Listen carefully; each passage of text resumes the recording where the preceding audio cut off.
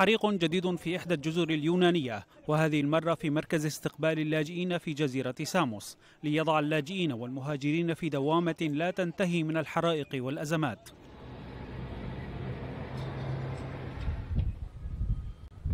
الكبار والصغار هنا يلعبون ويخترعون من بقايا الدمار أشياء تنسيهم حجم المأساة العالقين فيها أو ربما يكون اللعب من باب فقدان الأمل بالحلول التي لا يجدون الطريق إليها في السجن اليوناني الكبير.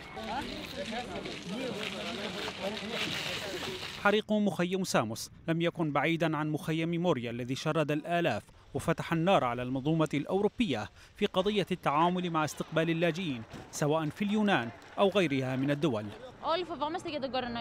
هذه مشكلة أوروبية وما حدث في موريا عار علينا جميعا. لذلك نحن هنا أيضا ليس فقط للفت الانتباه إلى الوضع الذي يعيشه هؤلاء الأشخاص. علينا أن نجد حلا مشتركا وعلينا أن نجد حلا يمكن من إعادة توطين الأشخاص عبر البلدان الأوروبية. هذا الوضع برمته يجعل من الواضح جدا أن مستقبل سياسات الهجرة الأوروبية لا يمكن بناؤه على نظام المعسكرات. لا يتعين علينا أن نحصل على مثل هذا. هذا لا يستحق أوروبا في عام 2020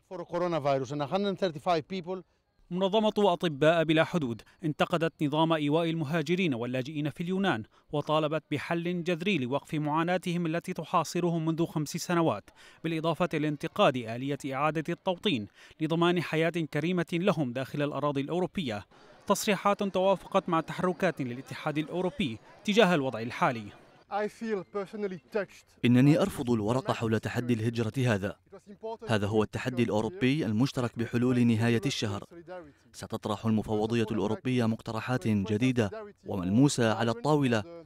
ونحن بحاجة إلى أن نكون أكثر التزاما من أجل أن نكون أكثر كفاءة.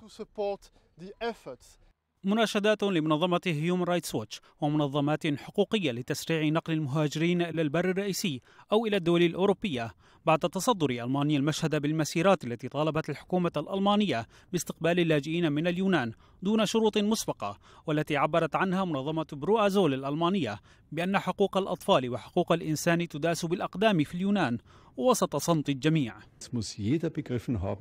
أعتقد أنه يجب على الجميع الآن أن يفهموا أنه إذا لم يتحرك الاتحاد الأوروبي ويتصور سياسة هجرة تبدأ عند حدودنا الخارجية فستواجه أوروبا مرارا وضع هجرة سيئة ولن يرغب أحد في ذلك بالتأكيد. ظروف بائسة خيام فارغة لا وسائد ولا بطانيات ولا شيء يمنع الحرائق من الاتهام الحلم الأوروبي الذي يتحول إلى السراب أو يتلاشى مع بقايا الدخان والرماد.